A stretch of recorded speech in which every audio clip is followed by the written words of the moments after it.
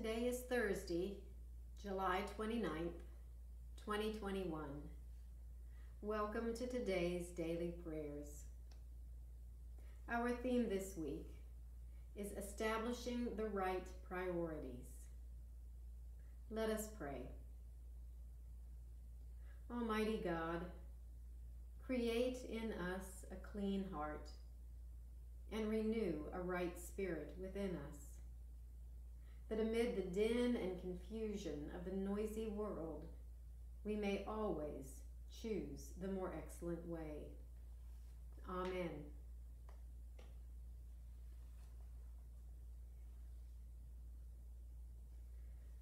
Our psalm this week is Psalm 73.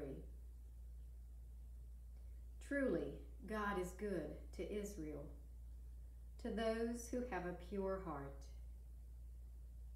But me, my feet had almost stumbled.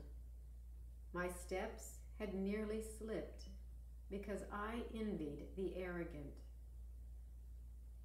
I observed how the wicked are well off. They suffer no pain. Their bodies are fit and strong.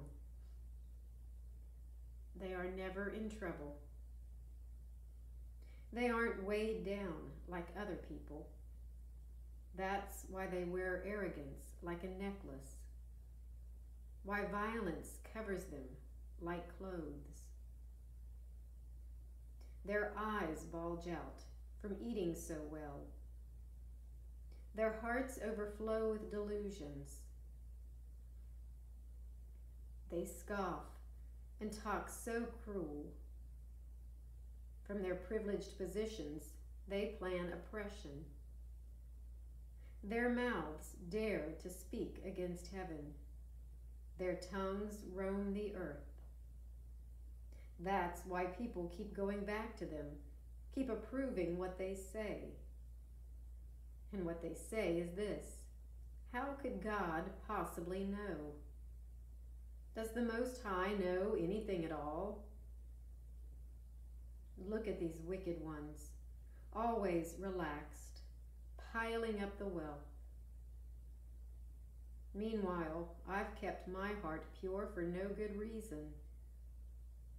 I've washed my hands to stay innocent for nothing. I'm weighed down all day long. I'm punished every morning. If I said I will talk about all this, I would have been unfaithful to your children. But when I tried to understand these things, it just seemed like hard work. Until I entered God's sanctuary and understood what would happen to the wicked. You will definitely put them on a slippery path.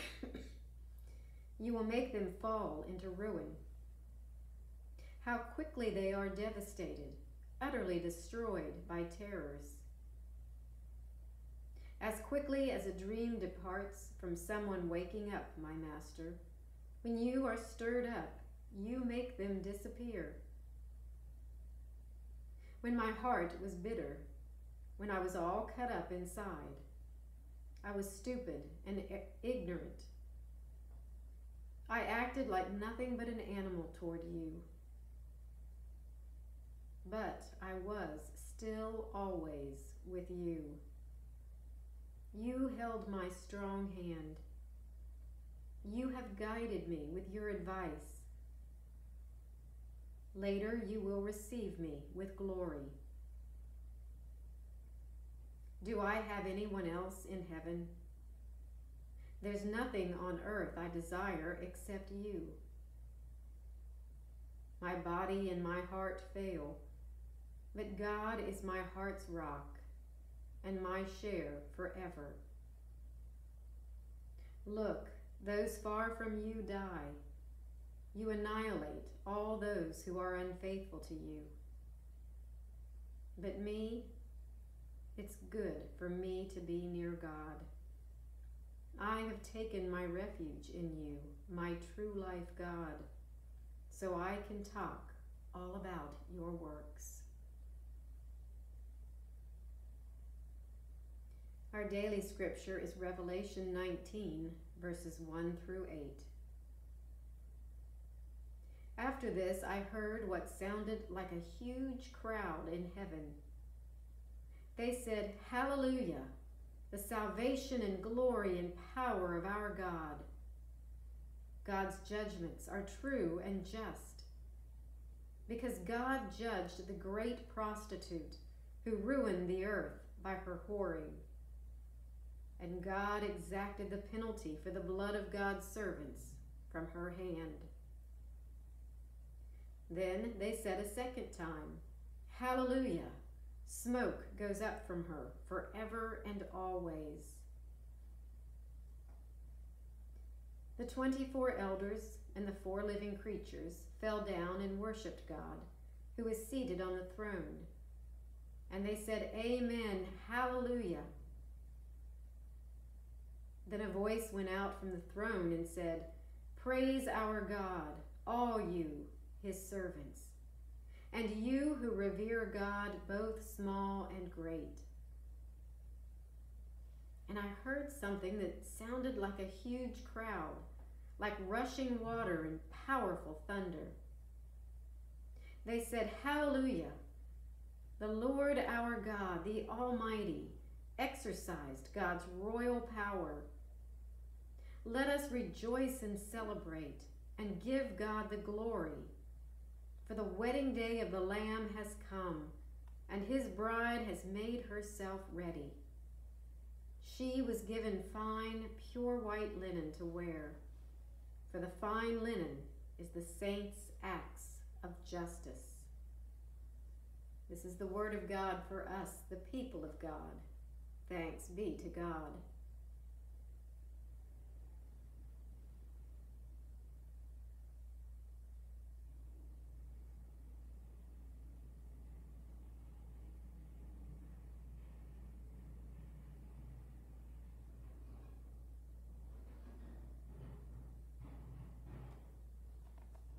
The book of Revelation is highly symbolic and should not be understood literally.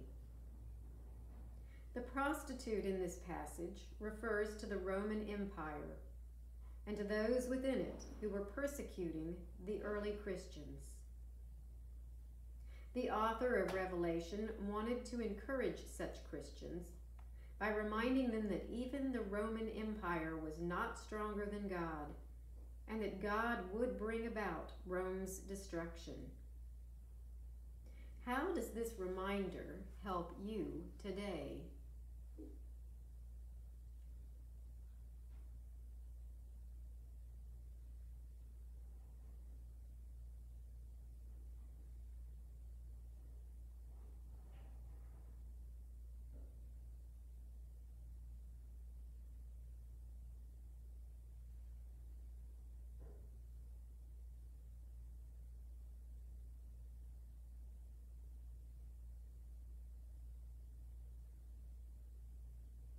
Notice how much of this passage is praise of God. How can you praise God even in your worst times?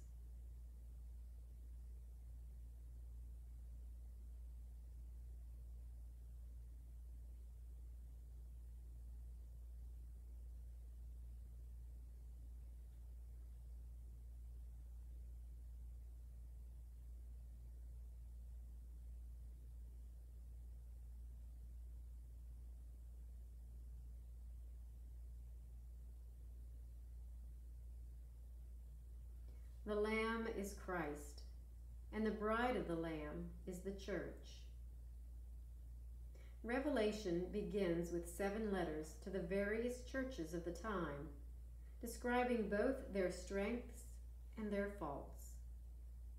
In what ways has the church helped you be a better Christ follower, and in what ways has it disappointed you?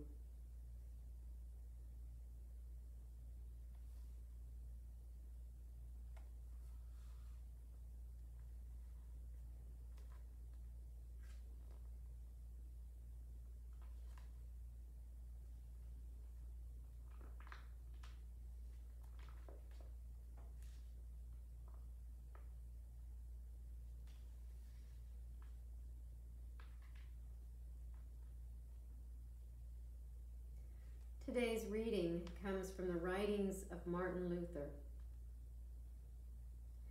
This life, therefore, is not godliness, but the process of becoming godly. Not health, but getting well. Not being, but becoming. Not rest, but exercise.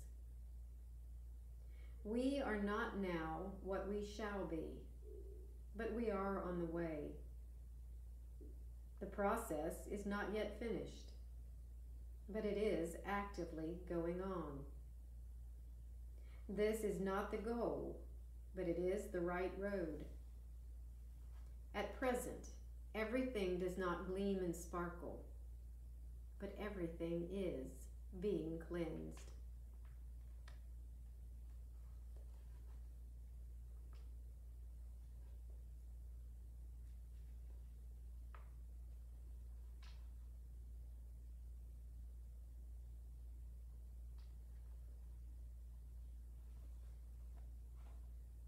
Let us pray.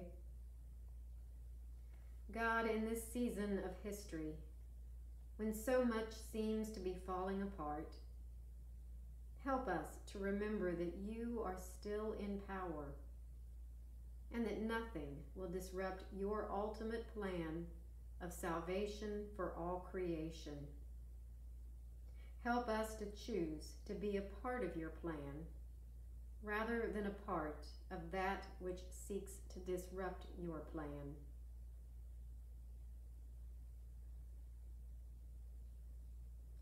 We pray for those who are oppressed by authoritarian governments. May they experience the hope that only comes through trusting in you.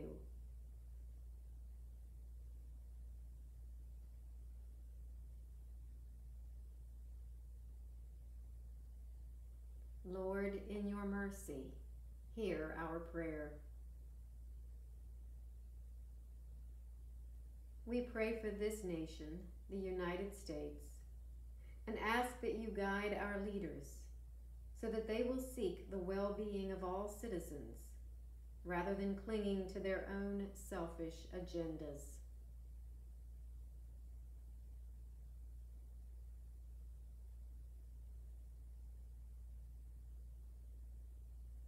Lord, in your mercy, hear our prayer. We pray for ourselves and ask that you help us to be true citizens of your kingdom, no matter what direction our government entities choose to go.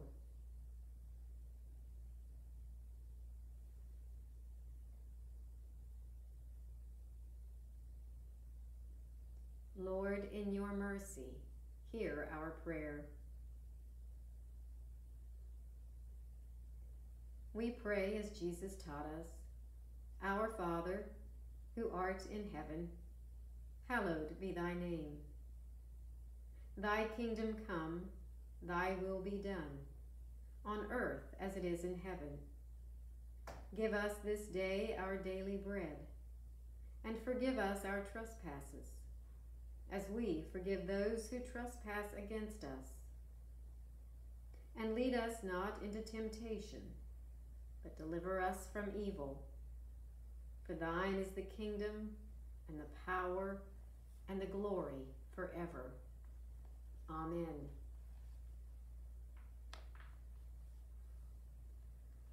Receive this prayer of benediction. My Lord, today I will make a thousand choices, big and small, consequential and trivial. In the midst of all these decisions, help me to choose the one thing needed for a richer, more vital life in you. Amen.